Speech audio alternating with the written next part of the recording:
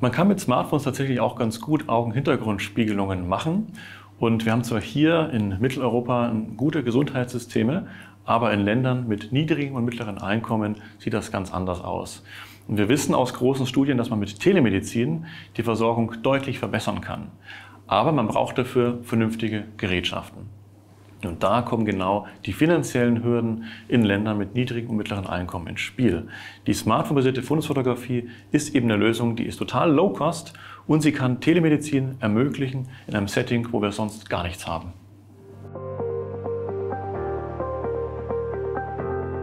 Speziell interessiert mich die diabetische Retinopathie, denn mit Smartphones kann man tatsächlich auch sehr gut eine Augenhintergrundspiegelung machen. Da sind die Kameras einfach mittlerweile sehr gut. Man braucht nur noch eine Linse, die man in den Strahlengang einbaut und dann kann man damit meistens recht hochwertige Aufnahmen erstellen.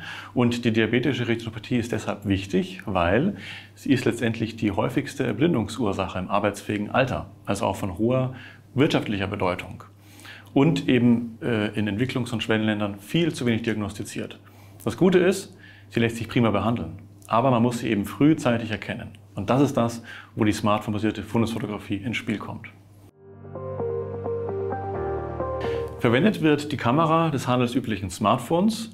Dann braucht man noch eine Linse, die einen Adapter in dem Strahlengang genau in der richtigen Position hält.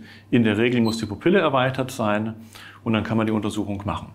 Das Ganze wird vom geschulten Personal durchgeführt. Die müssen also ausgebildet worden sein. Und am besten verwendet man auch eine App, die das Ganze dann managen kann in der elektronischen Patientenakte, mit der man die Aufnahmen machen kann. Und das ist ja auch dann ein telemedizinisches Setting. Das heißt, man muss die Aufnahmen dann transferieren von dem Bereich, wo die Untersuchung erfolgt, hin zu einem Reading Center, wo sie ausgewertet wird durch die Augenärzte. Die Qualität ist meistens etwas geringer, aber je nach Adapter kann die auch schon sehr gute Aufnahme erreichen. Also das kommt ganz drauf an. Wir haben das untersucht und gesehen, dass bei guten Adaptern und gut durchgeführter Untersuchung die Qualität ausreicht, um auf die Erkrankung mit vernünftiger Genauigkeit zu screenen. Da kann man beides machen, je nach Bedarf. Videos sind meistens ein bisschen einfacher, weil man da nicht durchgehend auf den Fokus achten muss. Von der Datenmenge ist natürlich eine Einzelaufnahme leichter, weil es dann nur ein einziges Bild ist, was man hochladen muss. Damit ein telemedizinischer Ansatz Sinn macht, müssen natürlich die Untersuchungen von Nicht-Augenärzten durchgeführt werden. Und da haben wir medizinische Assistenten, die ausgebildet werden. Und in unserem aktuellen Projekt in Indien haben wir das etabliert. Wir haben in Bangalore in Südindien das äh, ein Screening aufgesetzt für diabetische Retinopathie mittels Smartphones und erweitern das jetzt im aktuellen Projekt auf 24 weitere Screening-Zentren über ganz Indien verteilt. Unser Grundgedanke ist, dass wir das auch noch besser erlernbar machen wollen.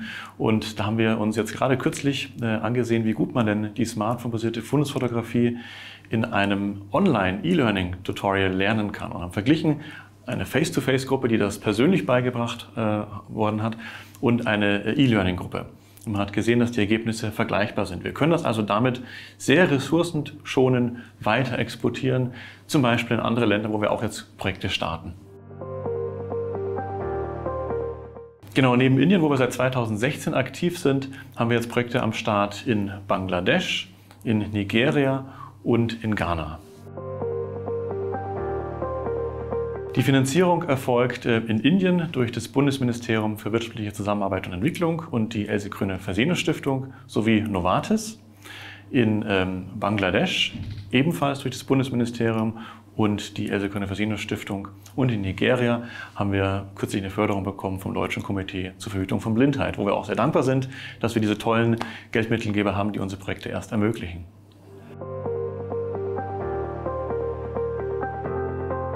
Der primäre Anwendungsort sind schon Länder mit niedrigen und mittleren Einkommen, weil man da einfach am meisten Bedarf hat. Und die Telemedizin ist super geeignet, um die Probleme dort zu lösen, aber man braucht halt günstige Methoden, um das einfach in der Fläche zu etablieren. In Deutschland haben wir eigentlich eine gute Versorgung, aber auch hier gibt es Bereiche, wo das vielleicht Sinn macht. Zum Beispiel in Seniorenheimen, im Randbereich der Versorgung oder auch im hektischen Klinikalltag, wenn man mal schnell am Patientenbett ein Bild machen möchte zur Dokumentation. Auch da wäre das denkbar. Das ist ganz unterschiedlich. Da gibt es ähm, einfache Ansätze, die beginnen im Bereich einiger hundert Euro und die obersten äh, kosten so einige tausend Euro. Also das gibt es eine große Bandbreite. Schwankt auch von der Qualität, von der verwendeten Technik.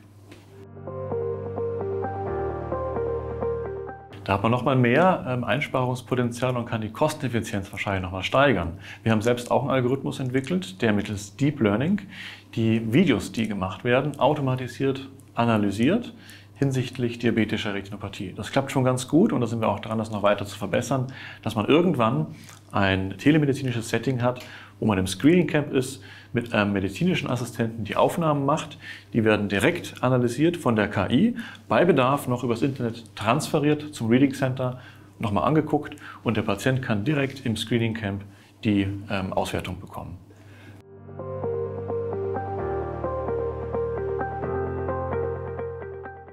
Das ist natürlich schwierig, gerade in Ländern mit mittleren und niedrigen Einkommen, dass man überall eine gute Anschlussversorgung hat. In Indien arbeiten wir mit dem Shankara Eye Hospital in Bangalore und anderen Standorten von denen zusammen. Und die haben ein spezielles Programm, wo mittellose Patienten auch entweder stark vergünstigt oder sogar kostenlos eine Therapie erhalten können. Das ist wichtig, dass man sich darüber Gedanken macht, weil sonst macht das Ganze natürlich keinen Sinn. Und äh, da gibt es in verschiedenen Settings auch unterschiedliche Angebote, die da in Anspruch genommen werden können, je nach Land.